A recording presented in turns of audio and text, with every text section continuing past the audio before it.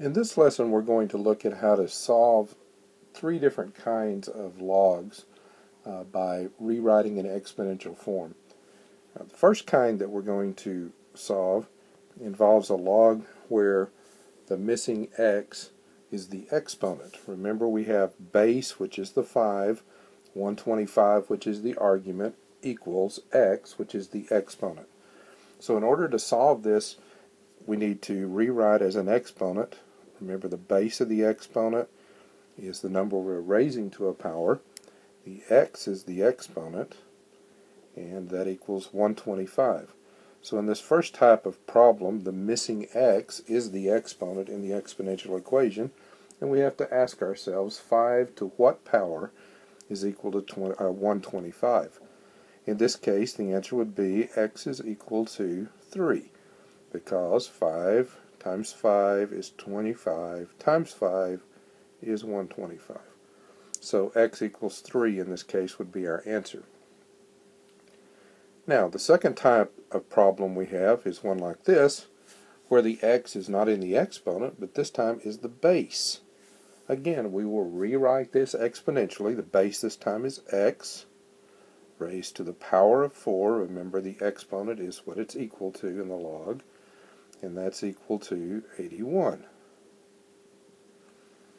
Now if you recall your rules of exponents, when we want to get rid of an x to the fourth power, then what we have to do is raise both sides of the equation to the reciprocal power, one fourth. So we have 81 to the one fourth and x to the fourth raised to the one fourth. These, of course, this is 4 over 1, these will cancel leaving just x.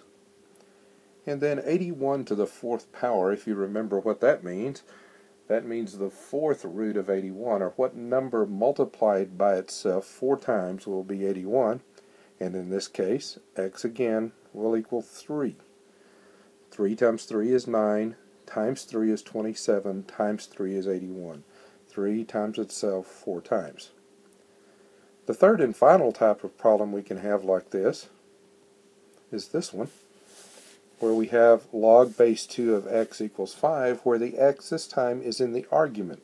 It's the answer we're going to get for the exponential equation. So let's rewrite it. 2 is our base, 5 is our exponent, equals x. This one is the easiest one to solve because we simply have to find out what 2 to the fifth power is. 2 times 2 is 4, times 2 is 8, times 2 is 16, times 2 is 32.